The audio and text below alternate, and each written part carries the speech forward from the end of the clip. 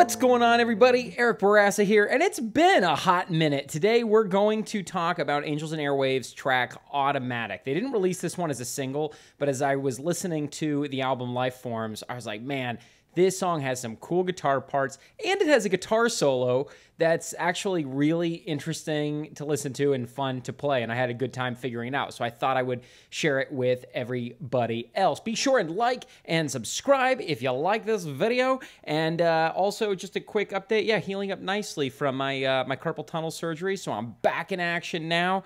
And let's start with the intro.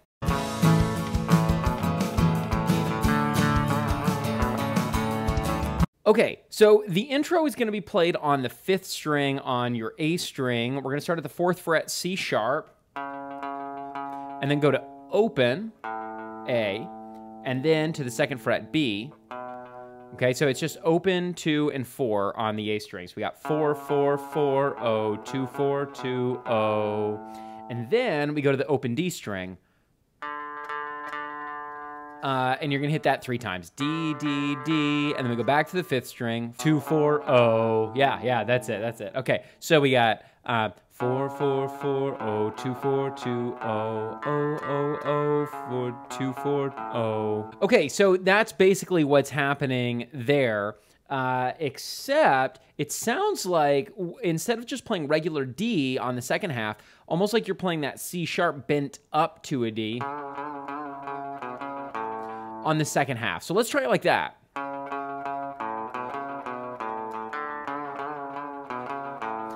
So you can kind of experiment with whether you want just the open D or whether you want the uh, the the C sharp in there too. So O O O O two four O, right? So fourth string to the fifth string, or just crazy four Okay. Okay. Now the acoustic guitar is is uh, for the intro and the verse. I think it's the same thing. It's basically this A5. So we've got open A uh, on the fifth string, and then we've got second fret on the fourth string and second fret on the third string, and then into. Um, we lift off the third finger and we play the index finger on fret one of the third string. So we've got kind of like that. And then we go to a D5, which is a, like a D chord, but without the first string. And we're going to use that um, finger two from that's normally on the first string. And we're going to lift the ring finger and grab the second fret on the second string to create like a D major seven. So. And I would block the first string with your middle finger, um, but you can leave it open. You can experiment with leaving extra open strings for both of these chords. Uh, so we've got A5 to like a version of A major 7, and then D5 to a version of D major 7. Okay, that's that's the the um,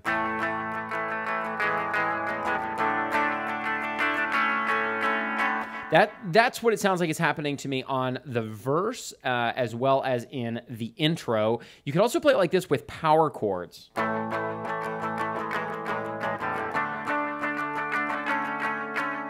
It doesn't have quite the same chimey feel to it, but it definitely works. And so we've got an A5 power chord at the fifth fret of string six, and then you just lift off your pinky to grab fret six, and then we go to the next string, we do the same thing. So those are cool chords to play with, and that's the one and the four chord in the key of A major. Um, so going from uh, a one chord to a one major seven and a four chord to a four major seven totally fits in a regular major scale for the key of A. So hey, that's fun. Okay, at the end of the verse, we just sit on that D5 chord. Yeah, yeah, da do da do. Sorry, I can't sing it, but uh, you're just doing an extra measure or two of that D5 chord. So in the verse, we've basically got four times through the chord progression and then one extra time staying on that D5. Okay, so now when we get into the chorus, um, I can't tell if just the bass is going down to G, to G sharp or not, but especially if you're playing this by yourself, I would do this. I would play.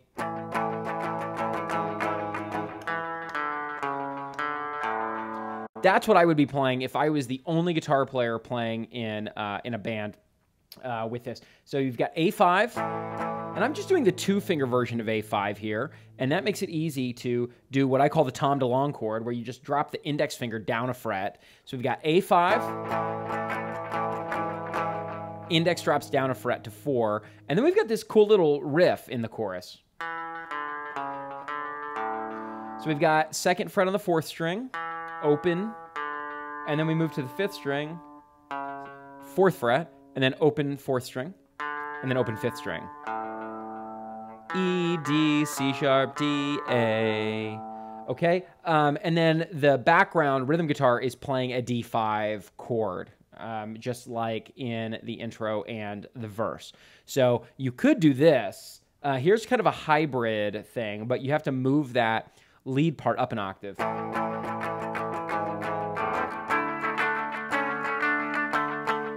So we've got, we're just adding those notes to the D5 chord, right? Because if you're just playing rhythm guitar,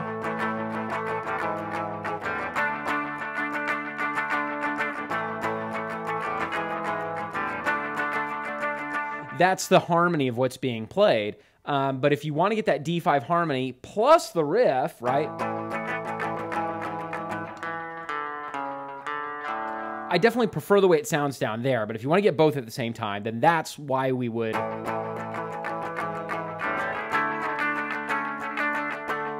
play it that way. Okay, so you can you can experiment with that and, and sort of just see what what you think.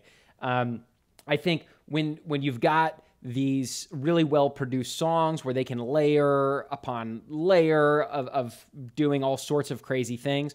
Um, you have to kind of adapt it for how you want to play it when you're by yourself at home and how you would want to play it in a live setting versus if you were recording uh, a full version of, of this song. So just some, some things to think about with that.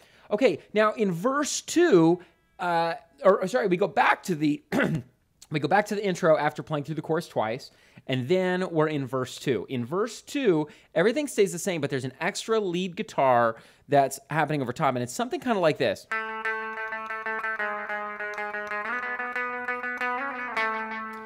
Um, to me, that's it's basically that's what it's doing each time with slight variations. So you can just experiment with playing on the third string, second fret, to the first fret, to the fourth fret, and then slide up to six and back to four, and then resolve to two. So if you were to play that kind of with the chords.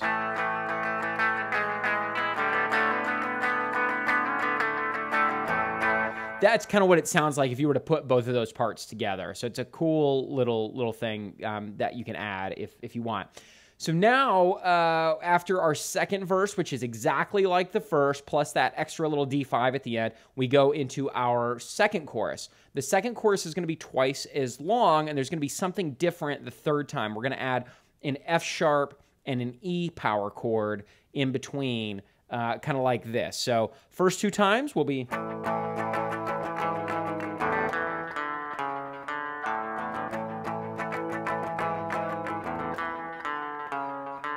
Third time, F sharp, power chord, E5 power chord.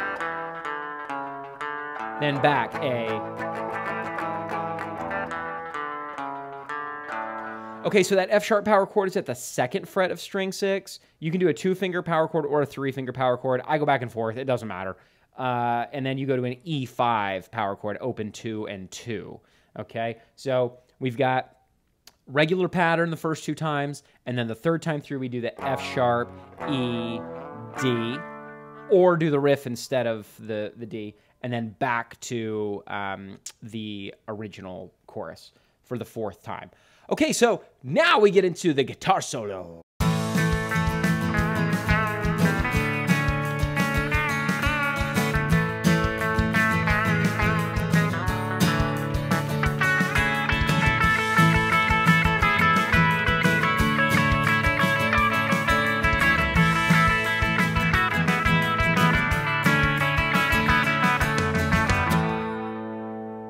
This guitar solo is so much fun. Uh, I really enjoyed learning it. So we're going to kind of do this.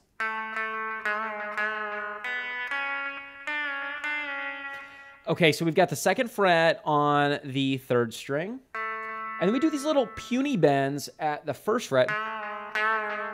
It, they're very quick, just up and back. And um, they can be half step bends, meaning you're bending all the way up to make it sound like the second fret.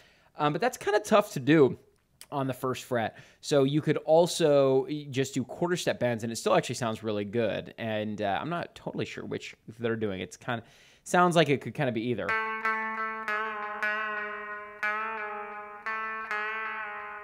Yeah. So just bend it far enough to make to kind of get that sound. And then we go to open on the second string and then second fret on the second string. Now we're gonna do a pre-bend. So bend that second fret up until it sounds like the third fret and pluck it at its peak and release. Okay, so then uh, all together so far we've got.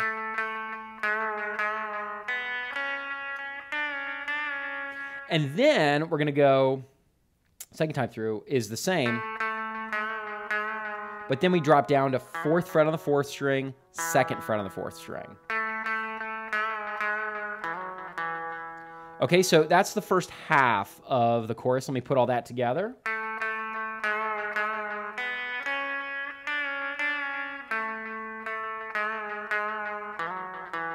And then the end of that first half goes like this. We're going to go on the second string, 7, 9, 10.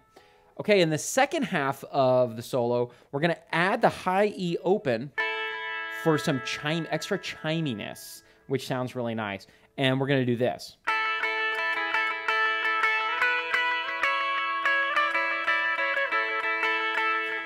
so play around with those frets and listen to the song listen with with your ear for that well I, and rather than listening with your nose i guess. I don't know why i said that. So we've got 10 9 and 10 and then up to 12 and then slide up to 14 and we'll go back and forth from 14 to 15 so you can sort of play with this idea and this idea. And then we're back. So I'm kind of playing it like uh, like this. If I go from the end of the first part.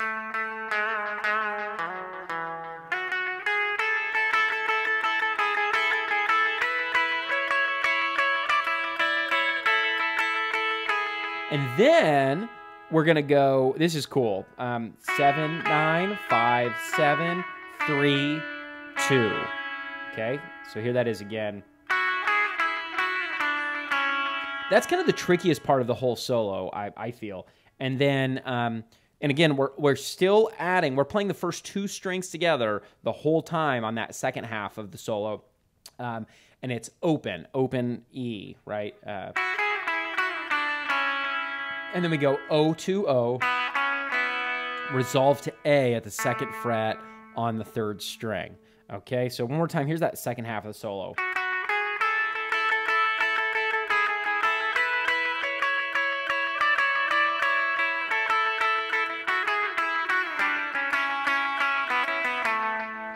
Okay, cool. So then at the uh, end of the solo, we, we do this little walk down. If you're playing the lead part, then I would play it there. So on the second string, you got two, uh, three, two, oh, and then to the second fret on the third string, to the back to the third fret on the second string. And then we just go three, two, five on the second string. Um, if you've got two guitars, then you can drop down an octave, and somebody else can can just be playing it um, open fourth string, and then on the fifth string, got four, two, zero, and then zero on the fourth string, and then open on the fourth string again, down to the fourth fret on the fifth string, and then second fret on the fourth string. So all together. Okay, and then we do another chorus, which is just like the second chorus. And then we're actually back to the intro uh, for four times. And the last time th through the intro, we go four times. The first two times is exactly like the beginning of the song. The last two times through, you do uh, the lead riff the same.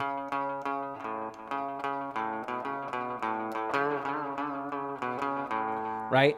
Um, but the rhythm guitars and the bass are going to do the F sharp, E, D power chords twice. And then you just hit on A.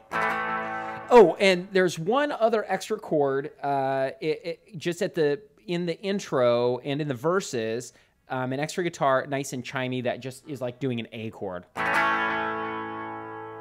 Okay, so that's just going on in the background. Last thing, don't forget on um, most of your guitars to add chorus and delay and maybe even a little bit of reverb. That's that's pretty important to kind of emulating the sound that they're getting. Uh, don't do it on the acoustic guitar, and you you don't. I probably wouldn't do it on like the heavy rhythm guitars, uh, but any single note lines for sure, and definitely on that solo, uh, especially you want to make sure and add those effects. Okay, guys, so that's it. That's Automatic by Angels and Airwaves. What do you think of the song? It's one of my favorite songs on the album.